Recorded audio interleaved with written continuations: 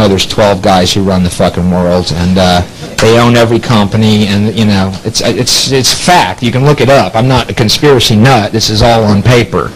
There really are 22 families who, who run and own 50% of the mainstream media, which is where we get our news, and. Uh, and it's true. It's a fact. You can look it up. I don't, you know, I, I, I can't be this big of an asshole without having the truth to back me up. Otherwise, I'd be a fucking nut doing this. But see, if you have the truth with you, you can do this.